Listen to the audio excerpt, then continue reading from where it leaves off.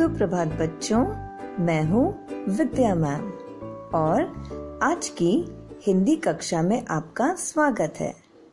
आज हम सीखेंगे वाक्य रचना। तो चलिए शुरू करते हैं। आपको याद होगा, पिछली बार हमने अक्षरों को जोड़कर छोटे छोटे शब्द बनाना सीखा था, यानी कि वर्ड्स लिखना सीखा था। आज हम उन्हीं बिना मात्रा के छोटे छोटे शब्दों को जोड़कर वाक्य रचना करेंगे, यानी कि सेंटेंस राइटिंग करेंगे। पर पहले एक बार फिर से व्यंजन वर्णों का अभ्यास करते हैं। चलिए पढ़िए। क, ख, ग, घ, अंघ। च, छ, ज, झ, य। ट, ठ, ड ढ ण। त, थ, द, ध, न। प, फ, ब, भ, म। य, र, ल, व, श। श, स, ह, क्ष, त्र और ज्ञ चलिए चित्रों को देखते हैं और साथ में पढ़ते हैं। इस चित्र को देखिए। ज, ल, जल भर भर। जल, भर, यानी कि पानी भरना और इंग्लिश में हम इसे कहते हैं टू फिल वाटर फ ल फल च ख चख मिलाकर पढ़िए इसे.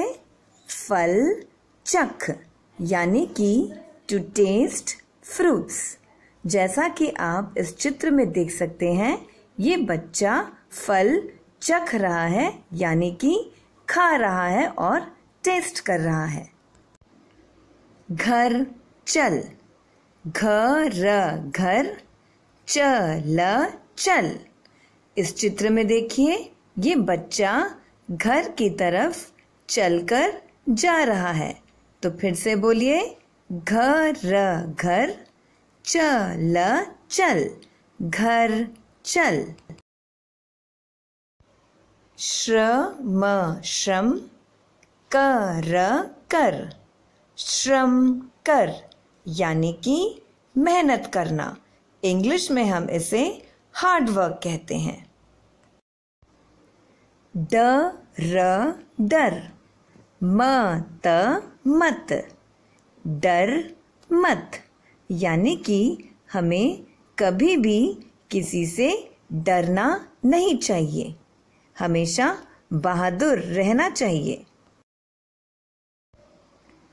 र, स, रस। च, ख, चख। रस यानी कि जूस, चख यानी कि टेस्ट करना। रस, चख यानी कि जूस को पीकर उसे टेस्ट करना। ट ब, टब। भर भर टब भर जैसा कि आप यहाँ देख सकते हैं, नल के पानी से हम बाथ टब को पानी से भर रहे हैं। तो फिर से दोहराइए तब भर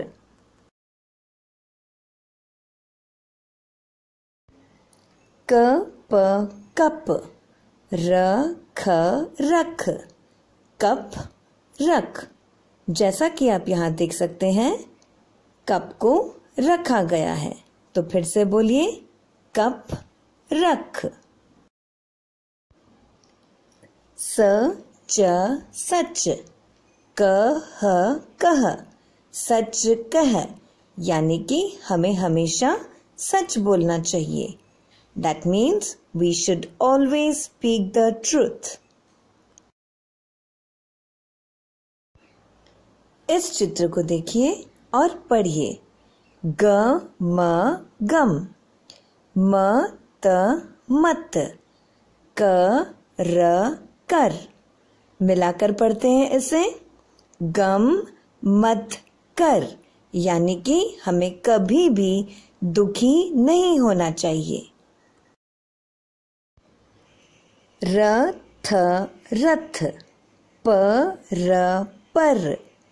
चढ़ चढ़ रथ पर चढ़। रथ यानी कि चैरियट रथ पर चढ़।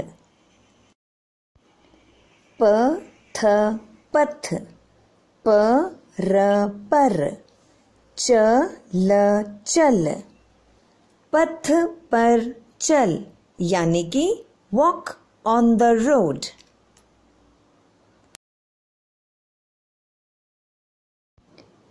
ब, स, बस, प, र, पर चढ़ चढ़, बस पर चढ़।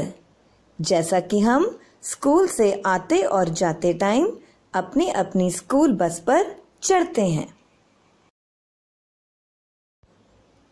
र, ज, त, रजत, क, स, र, त।